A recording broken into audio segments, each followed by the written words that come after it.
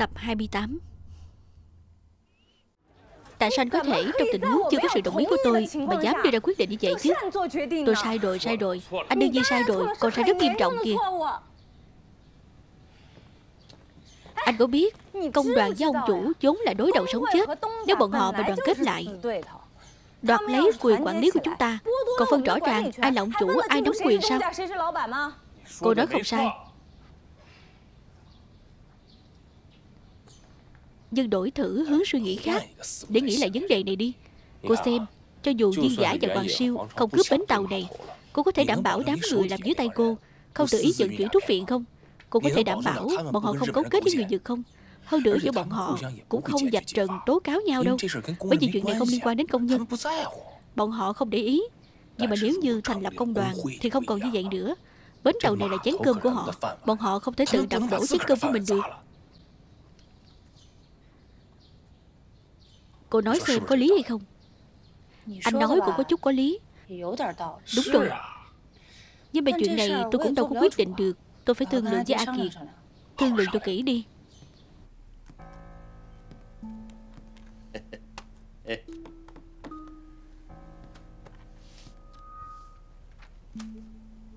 Có ý gì chứ? Chê tiền ít Tiền này là tiền gì? Mỹ Kim đó Màu xanh không may mắn Có đẹp đâu. Mỹ này không có nghĩa là đẹp Là tiền giấy của nước Mỹ. Tiền của nước Mỹ là ý đó đó. Nhưng cũng phải gọi là đô Mỹ hay đồng Mỹ chứ. Bởi vì cầm nó có thể trực tiếp đi đổi thành vàng Cho nên mới gọi là Mỹ Kim. Nói như vậy thì tôi hiểu rồi. Hay là cứ trực tiếp đưa tôi vàng đi. Cầm một đống giấy trong tay không an tâm Không đưa phải không? Vậy tờ giấy này tôi không cần nữa. Ngồi đi.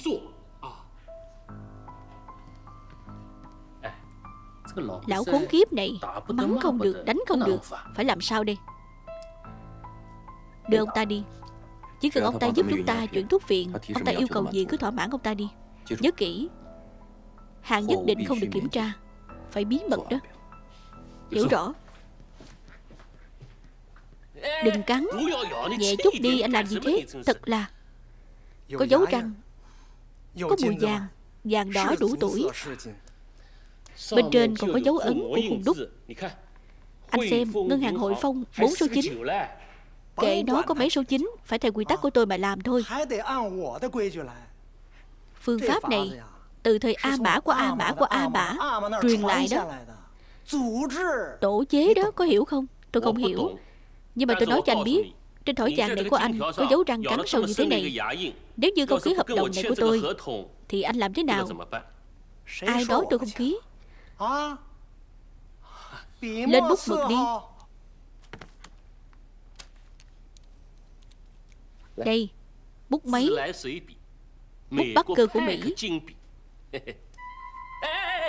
Sao anh lại cắn lửa thế Thứ nghèo túng Dùng cái bút nát này. Lấy bút lông đến đây Không. Nào nào lấy bút.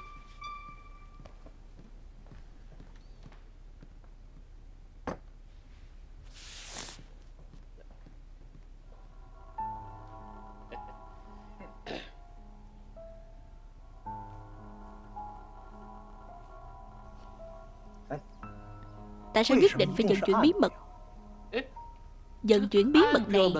Anh lấy tiền công cũng nhiều phải không? Nào nào tiếp tục đi.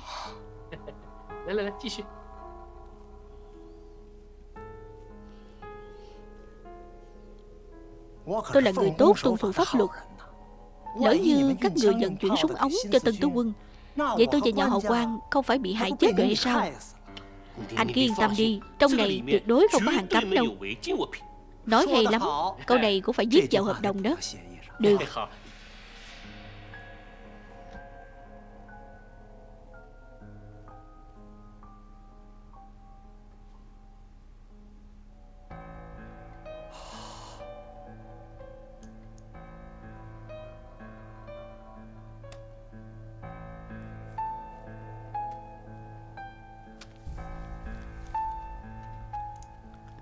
Đừng xem nữa. Sáu kim thể quy tông thẳng đứng nguyên bản.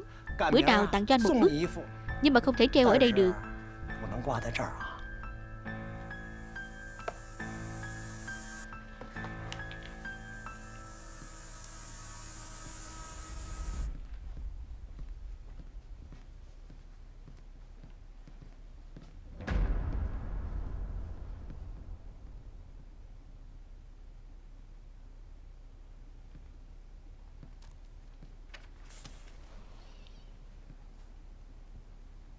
Sao anh toàn làm mấy chuyện dễ rắn thêm chân vậy?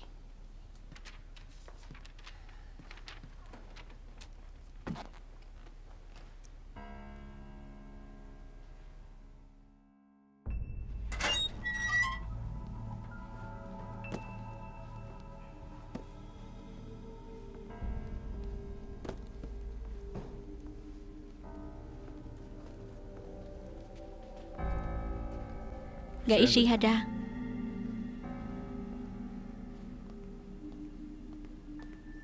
Không ngờ rằng cậu lại tay không mà đến.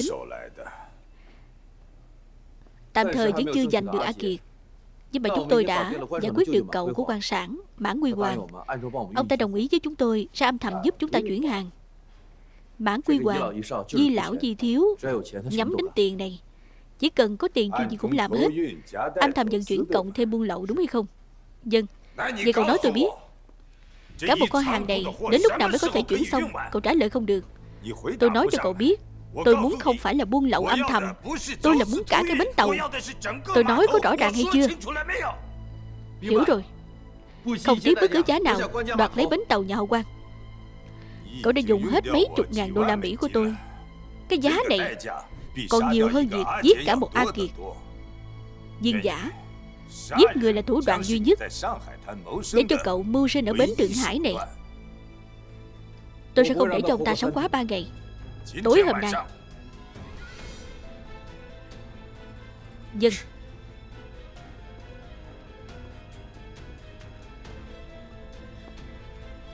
Anh đi giúp cậu ta đi. Chuyện này không thể kéo dài thêm được nữa. Dân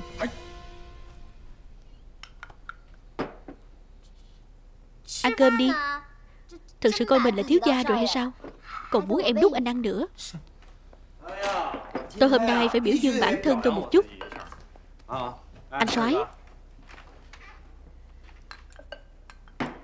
Sao cậu quay về rồi? Chú Kiệt bảo tôi quay về đó. Vậy thì cậu cũng không được đi. Tôi có nói với cậu rồi mà.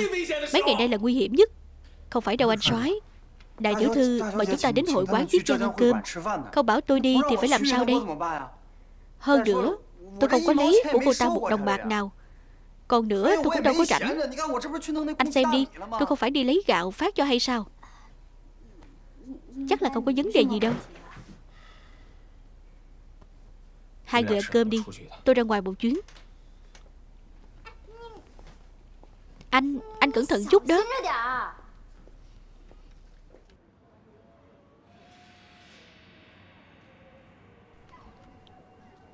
Ban ngày ban mặt mà làm như vậy có phải ảnh hưởng quá lớn hay không?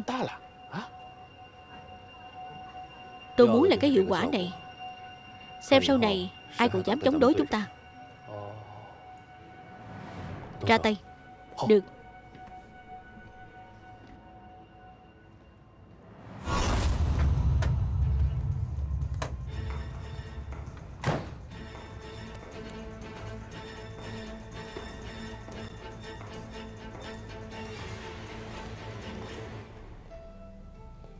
Chú Kiệt Chú rốt cuộc có đồng ý hay không? Nói gì đi. Tôi thừa nhận chiêu này của viên soái Có đạo lý nhất định Nhưng mà tôi vẫn không đồng ý tổ chức công đoàn. Cái này chẳng qua chỉ là thả ra chút quyền Tốn thêm chút tiền thôi. Tôi càng muốn tiền trên người của các anh em hơn. Liều chết cũng phải đánh một trận. Nhưng mấy anh em lần trước chú tìm Không có tiền là phủi mông đi sạch hết. Người như vậy có đáng tin hay không nhưng mà hai mươi mấy năm nay, Chúng tôi đều qua lại như vậy hết. Cho nên, Cho dù chúng ta gọi là thương hội quan thị, Cũng khó thoát khỏi hình bóng của bang phái. Nhưng mà nếu như thành lập công đoàn rồi, Vậy thì nhà hậu quan Có thể biến thành sản nghiệp chân chính rồi. Đó là chuyện vô cùng tốt. Sau này chúng ta có thể sống sạch sẽ rồi. Chú Kiệt, Chú không cần gấp gáp bày tỏ thái độ. Uống ly rượu, Từ từ suy nghĩ. Tôi đi vệ sinh một chút đây Lát nữa quay lại ngay.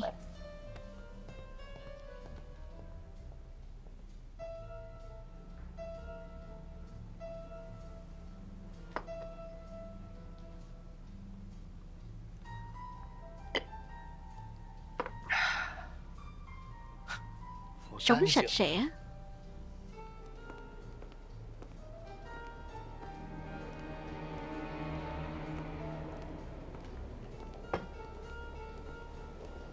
Ngại quá hai vị Hôm nay toàn bộ được chú Kiệt bao hết. Chúng tôi có hẹn với chú Kiệt rồi Để tôi giúp anh thông báo. Không cần, chúng tôi tự tìm Để tôi thông báo cho hai người một chút. Hai vị chờ chút nha.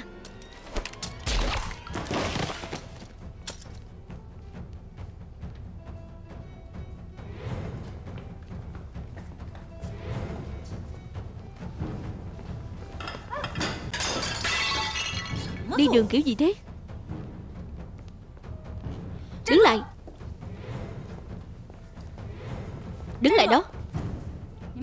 Người sao vừa thấy tôi là chạy chứ? Thật ngại quá. Chúng tôi đi nhầm chỗ. Đi nhầm chỗ? Vậy cũng không thể đập chậu hoa của người ta, Không đền mà còn chạy nữa. Chứng quỷ, Tôi đền. Tôi đền cho. Đại ca không có tiền đâu. Không phải ở chỗ của anh sao?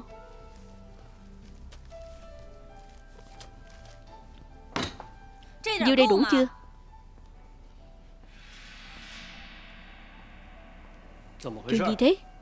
Chú Kiệt Hai người này đập chậu qua của người ta Không đền cũng muốn chạy nữa. Không đúng cho lắm.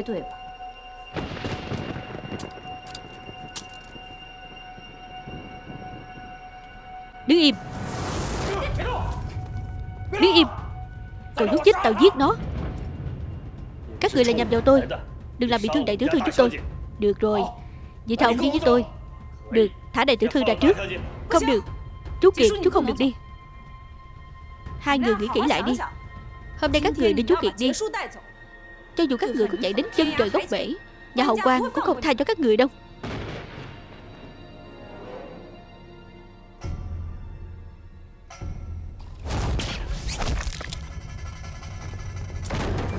Đứng im. Hai tên nhà các người Cũng dám đến giết chú Kiệt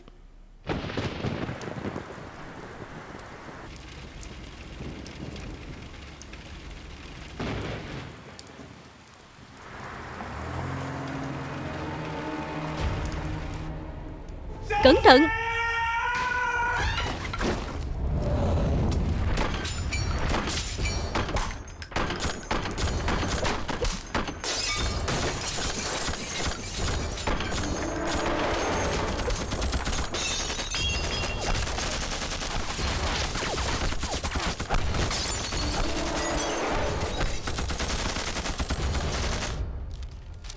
Chú Kiệt Đừng qua đây nguy hiểm lắm.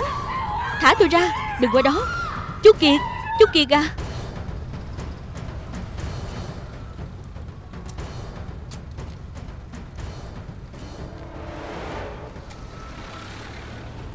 Sao anh của tôi lại ăn mặc như thế? Anh trai anh. Cũng may là không hỏng chuyện lớn.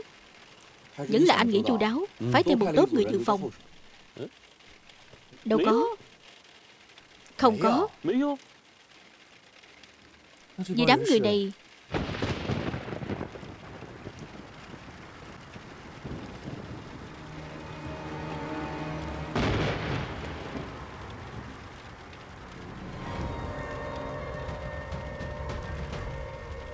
Ishihara thật quá đáng sợ. Chú Kiệt. Chú Kiệt. Chú Kiệt à. Chú Kiệt Mau, mau đến bệnh viện đi. Được, mau đưa chú Kiệt đến bệnh viện nhanh Chú Kiệt à Không cần đâu. Đại tiểu thư giao cho cậu đó. Chuyện công đoàn cô cứ quyết định. Nhớ kỹ mặt mũi còn đáng giá hơn mạng sống. Nhớ chưa?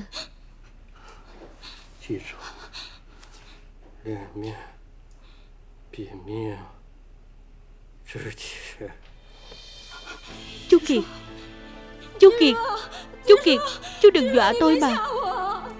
Chú Kiệt. Chú Kiệt ơi, Chú Kiệt. Chú Kiệt tỉnh lại đi. Chú Kiệt à tỉnh lại đi.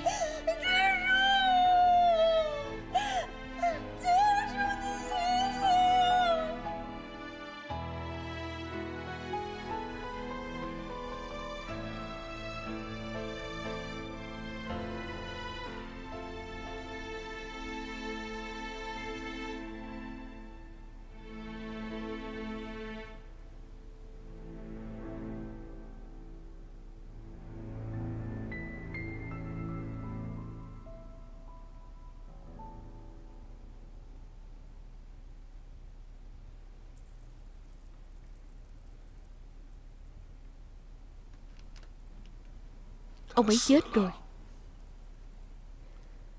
Chết rồi. Sao lại chết? Bị bắn chết. Tôi muốn đi gặp ông ấy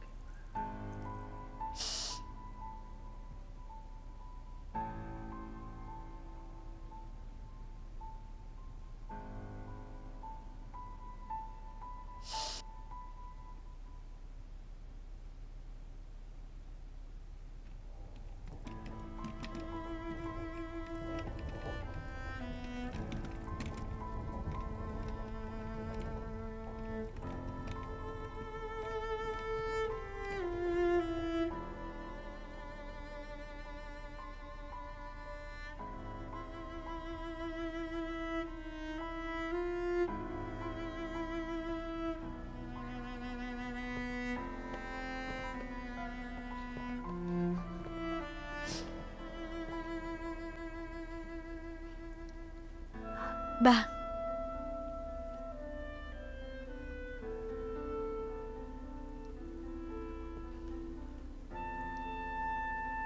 Các con ra ngoài trước đi.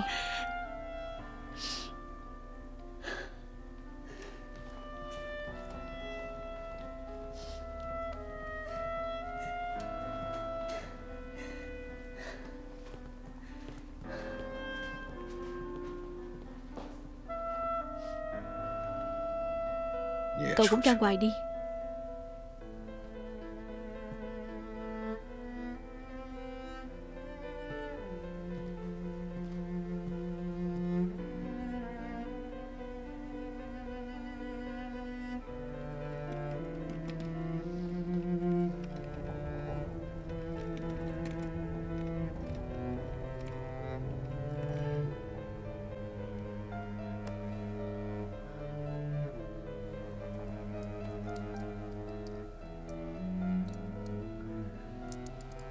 Đây là đồng hồ của ông.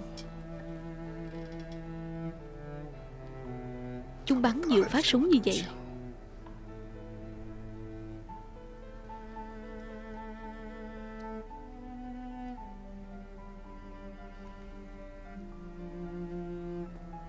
Tôi ban đầu muốn Đưa ông và sẵn sàng Sớm trốn đi Hồng Kông, Rời khỏi chốn thị phi này.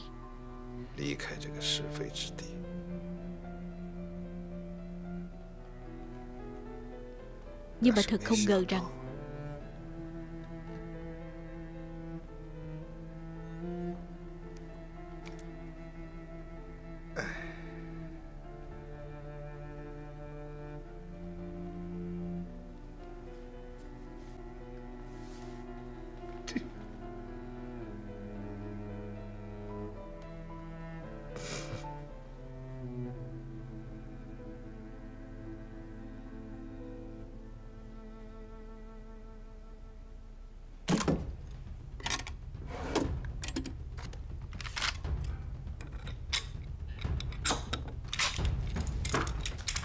Anh rể Đừng có chơi súng nữa. Bây giờ giờ sửu rồi Có thể có năm tháng của dạng tới gia rồi. Anh đi ra ngoài chơi chim đi. Nhưng mà bây giờ anh vẫn chưa ngủ. Thù này không báo Sao tôi nhắm mắt được chứ? Không phải bảo cậu đi tập hợp người hay sao? Sao cậu ở đây làm gì? Giờ này không thích hợp. A Kiệt không có ở đây. Xem ra chuyện gì cũng phải tự mình làm rồi. Cậu đưa tôi. Cậu thả ra Nhà chúng ta đã thế này rồi. Đừng đánh đánh giết giết nữa. Bỏ đi. Bỏ đi mà. Sẵn sàng giả kiệt, Bị người ta càng súng. Chuyện mất mặt như vậy, sao tôi bỏ được chứ?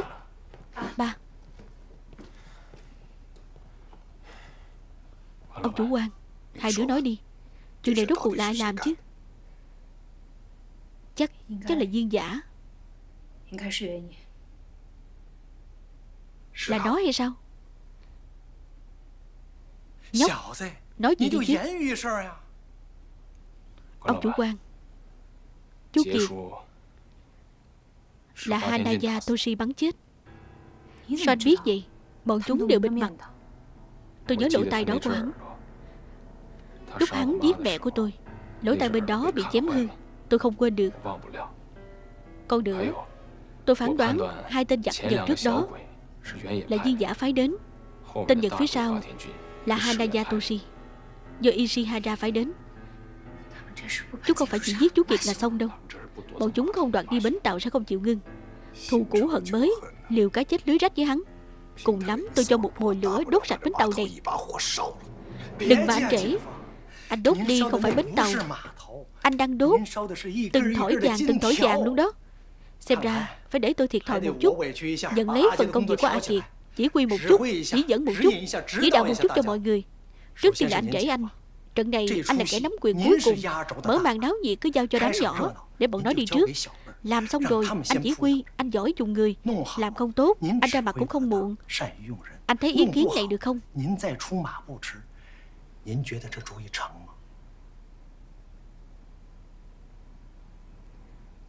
Các con thật không có cách gì hay sao? Có Cách này Con với chú Kiệt thương lượng rồi. Trước khi chú ấy chết Đã đồng ý. Nếu như A Kiệt đã đồng ý Chắc là không sai đâu. Nhưng mà trước đó Con không được mang súng. Ông chủ quan Đại tiểu thư có thể không mang súng Nhưng mà không thể không mang theo tôi. Hai chúng tôi đi cùng nhau.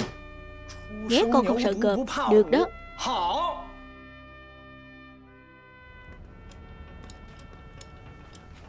Này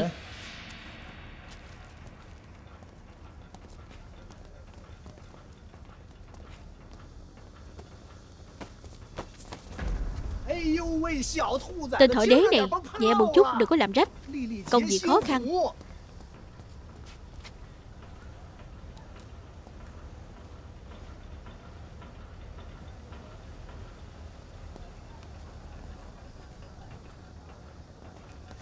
Làm cái công đoàn nát là không cần làm việc Trò của tên phá của mà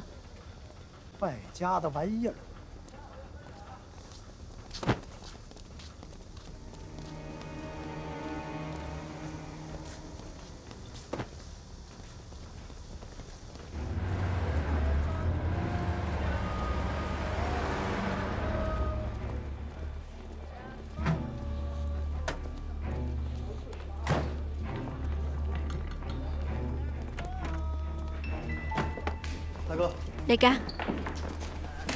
Đại ca.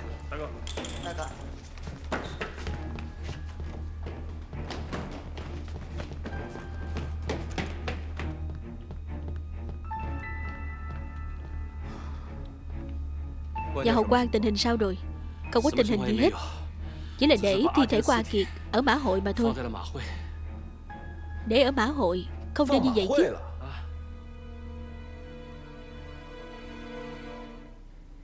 Kiệt chết rồi. Nhà hậu quan không thể im hơi lặng tiếng.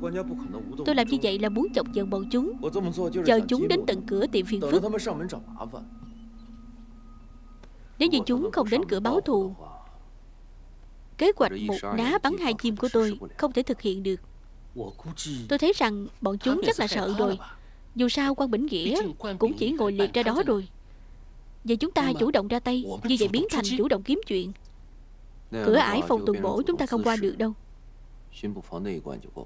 Vậy thì phải làm sao đây Lần này không tốt Ishihara nhất định chém chúng ta thành từng mảnh đó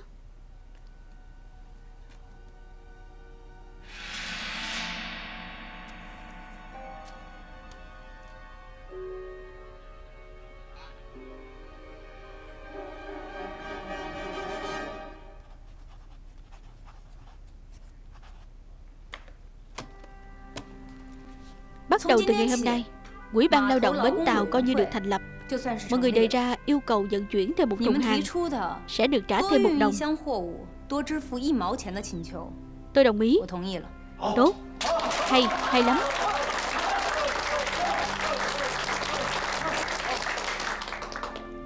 Nhưng mà tôi đề ra yêu cầu hệ thống trách nhiệm chung về an toàn vận chuyển tàu biển và an toàn bến tàu.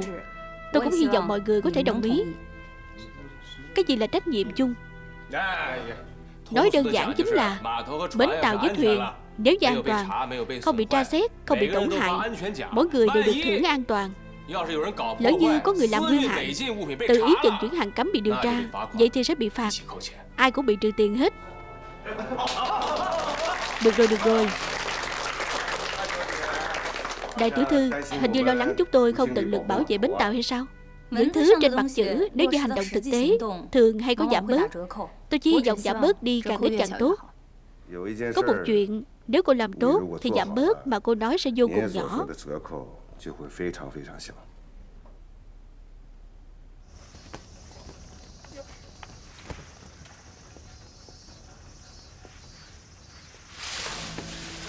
Đây là thuốc viện này Thuốc viện Sao lại có thuốc viện chứ? Vận chuyển thuốc viện đây là thuốc viện của người Nhật. Số hàng này có bao nhiêu? Tổng cộng 100 thùng gạo. Nhưng mà bên trong có chứa bao nhiêu thuốc viện? Tôi cũng không rõ nữa. Mau chống ra đi. Được. Mau lên.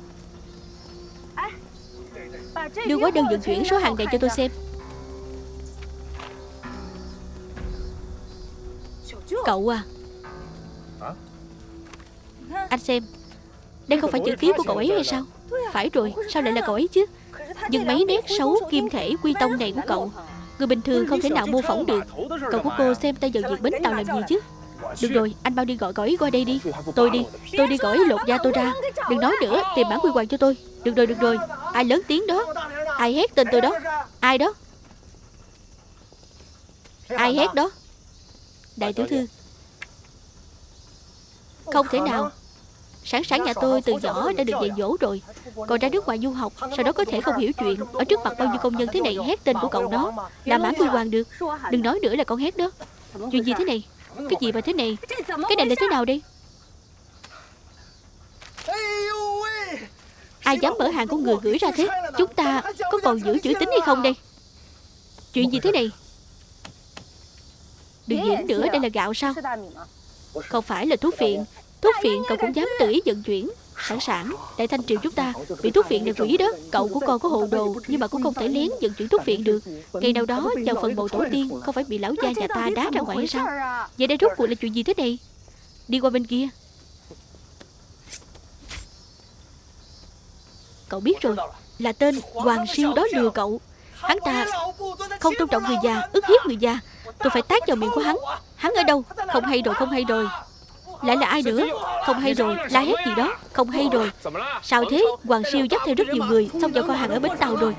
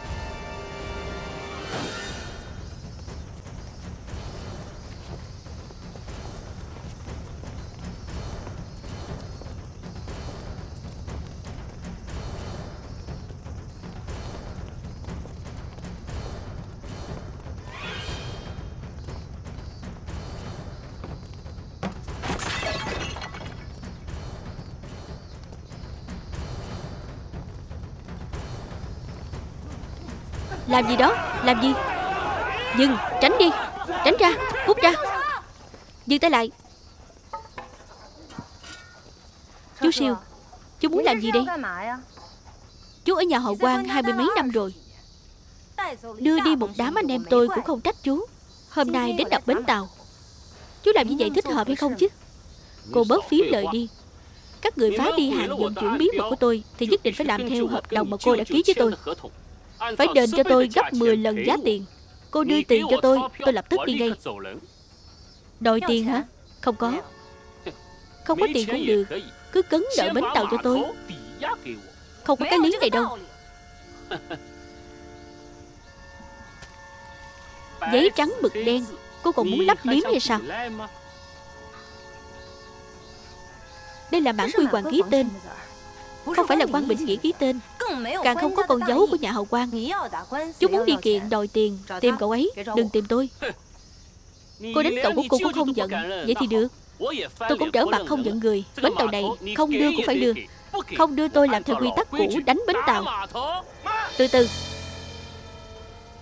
Ông cầm hợp đồng đó Lấy ra đây nhìn kỹ một lần đi Có ý gì? Điều khoản bổ sung cuối cùng trên đó viết rất rõ ràng.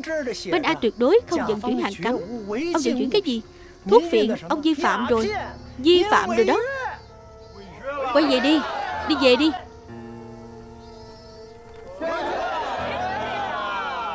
Làm gì thế? Chú siêu Vậy hôm nay bến tàu này chú cướp không được rồi. Cái này theo pháp luật mà nói Điều quan trọng nhất không thành lập Hợp đồng thứ yếu không có hiệu lực. Phải rồi Lão già này, Dám chơi tôi. Cái thằng già này, Hoàng siêu Các người muốn làm gì đó?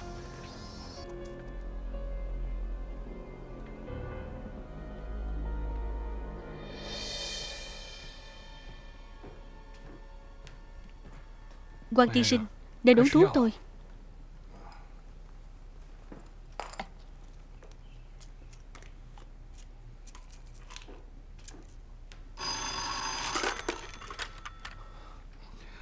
Tình hình thế nào rồi? Không hay rồi lão gia, Hoàng siêu đưa theo mấy trăm tên lưu manh, Bao giờ bến tàu với đại tiểu thư rồi? Hình như là muốn đánh bến tàu thì phải. Đánh bến tàu? Muốn đánh con gái của ta sao?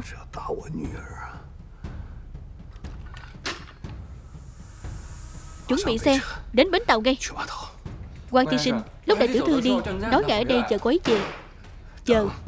Còn chờ thì sẵn sàng không về được nữa rồi. Hợp đồng là ông tình tôi nguyện. Ai ức hiếp chú, Ai lừa gạt chú. Cho nên chúng tôi hôm nay Phải làm theo hợp đồng đi chứ. Mời về cho. Tôi nói cho cô biết. Hôm nay không lấy được bến tàu. Tôi không đi đâu. Chú dựa vào đâu mà đòi lấy bến tàu? Dựa vào đâu? Cô xem đi. Dưới tay của tôi đều là anh em không sợ chết, Gọi là lưu manh. Mà chỗ của cô thì sao? Toàn là mấy tên bốc giác phải nuôi cả gia đình. Ở cái thành phố này Làm gì có lưu manh sợ bốc giác chứ?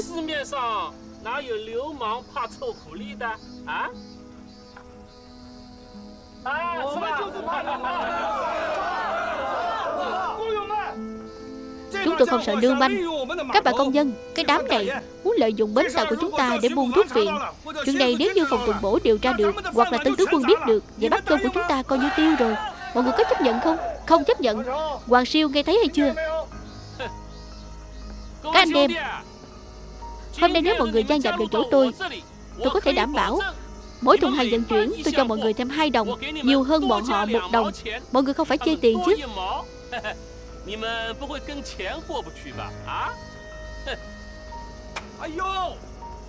Hoàng Tổng muốn tăng tiền cho mọi người. Mọi người mau chóng cảm ơn Hoàng Tổng đi. Không cần cách sáo. Cảm ơn. Chuyện gì thế này? Thái độ gì thế này? Hoàng Tổng tôi biết rồi. Tôi thay mặt hỏi mọi người một câu. Một thùng thuốc phiện ông bán được Bản thân có thể kiếm bao nhiêu tiền? Ít nhất mấy chục ngàn đồng. Một thùng thuốc phiện ông bán được mấy chục ngàn đồng Mà chỉ tăng thêm cho họ có hai đồng thôi. Ông thật keo kiệt quá đi. Phải không? Phải rồi. Tôi có thể tăng thêm, tăng thêm. Cái này là ông nói đó. Vậy thì phải tăng đến khi nào bằng cái đám lưu manh dưới tay của ông chứ? Một tháng 80 đồng. Thế nào? Cậu? 80 đồng. Viên soái, Sao vậy? Như vậy không được. 80 còn chỉ ít. Không phải chúng ta cầm 80 đồng? Vậy chúng ta không phải thành lưu manh hết rồi hay sao? Các bạn công dân, Chúng ta thà rằng kiếm được hai, ba chục đồng lương công dân. Tuyệt đối không thể lấy 80 đồng tiền lưu manh được. Các bạn nói đúng hay không?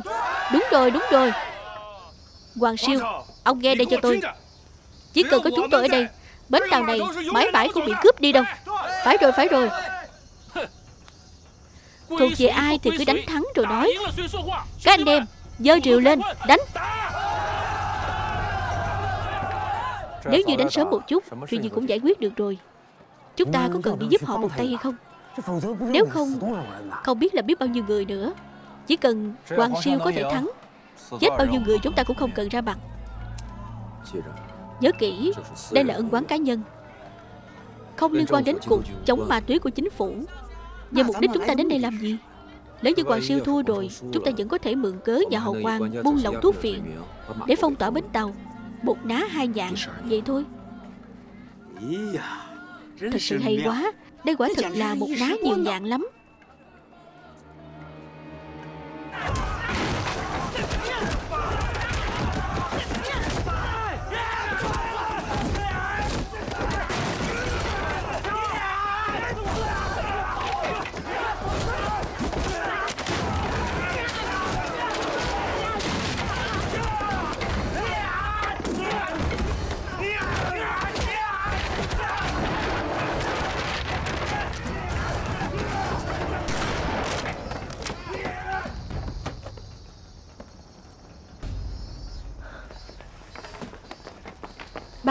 Sao ba tới đây vậy?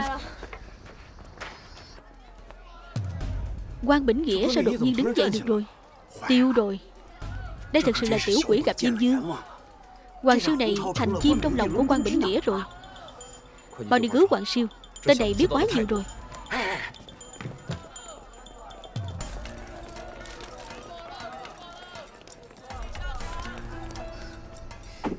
Dám cướp bến tàu của ta.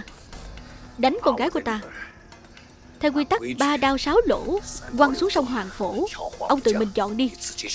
Dạ không đại ca, Tha cho tôi đi, Đừng nổ súng, Đừng bắn. Ông đợi chết đi. Quan tiên sinh, Ông đừng sốt ruột. Tôi cảm thấy ông bây giờ Tốt nhất đừng giết hắn ở đây. Ông giết một tên khốn kiếp như vậy, Sẽ gánh tội danh giết người Còn phải đến phòng tuần bổ không đáng? Thù của chú kỳ còn chưa báo. Tên này không tránh được liên quan. Ông nghĩ xem, Dựa vào quan siêu Lấy đâu tiền mua nhiều thuốc viện như vậy? Sau lưng hắn ta nhất định có người? Nếu như giết hắn Không tìm được manh mối gì nữa rồi. Ông nói xem.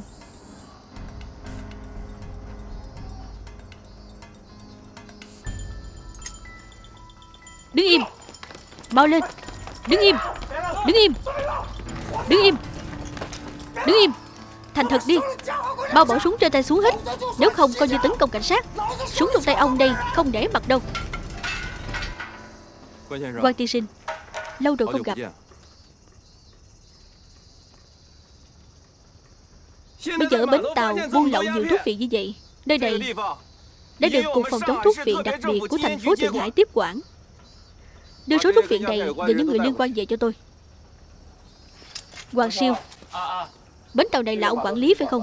Trước kia là trước kia tôi Phiền ông đi với chúng tôi một chuyến. Được được. Người khác có thể đưa đi. Em Em để ông ta ở lại. Anh muốn chống đối với chính phủ hay sao? Ai nói chúng tôi chống đối chính phủ? Chúng tôi không tin cậu thôi. Cậu đưa Hoàng Siêu đi rồi. Lúc nào cũng có thể tìm đại lý do nào đó thả ra. Sau đó mang tội danh buôn thuốc viện Đếm lên đầu của chúng tôi. Chúng tôi tìm ai nói lý đây? Nếu dám phản kháng, coi như đồng phạm. Đến lúc đó đừng trách súng đạn không có mắt.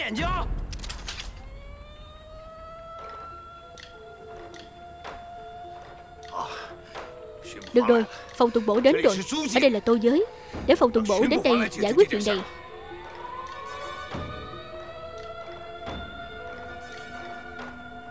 Đi cướp súng của người phía sau Giả bộ tấn công cảnh sát Là sao? Nếu như ông bị tô giới đưa đi rồi Thì phiền phức lắm. Phải đưa ông đi rồi nói sao? Được. Có người tấn công cảnh sát. Bảo vệ đô đốc trưởng.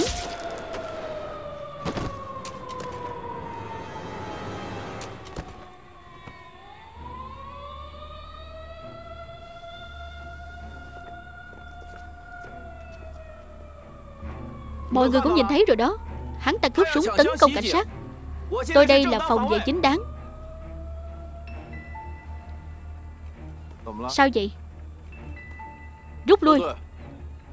Mày là muốn giết người diệt khẩu. Viên soái, Anh cũng muốn tấn công cảnh sát sao? Mày là muốn giết người diệt khẩu. Ba, Người đâu?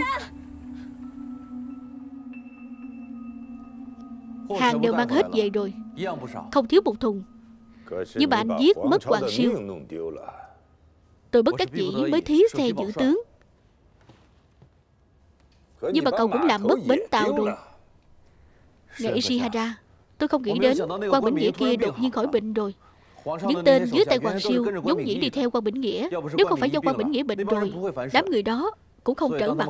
Cho nên khi bọn họ nhìn thấy quan Bỉnh Nghĩa rất khó ra tay Nhìn biểu hiện là quan Bỉnh Nghĩa đột nhiên đến đó. Thật ra là do đám công nhân bến tàu Giúp bọn họ việc lớn. Tôi cũng cảm thấy rất kỳ lạ. Tại sao những người đó đột nhiên nghe lời viên soái Tại sao trùng hợp hôm nay bọn chúng thành lập công đoàn? Tại sao trùng hợp mãn quy hoàng hôm nay bí mật vận chuyển? Tại sao trùng hợp trong lúc vận chuyển lại bị phát hiện Những chuyện trùng hợp này chống đỡ đám công nhân Phẫn nộ với các người. Cũng chứng minh sự thật. Có cao nhân đứng sau mưu tính.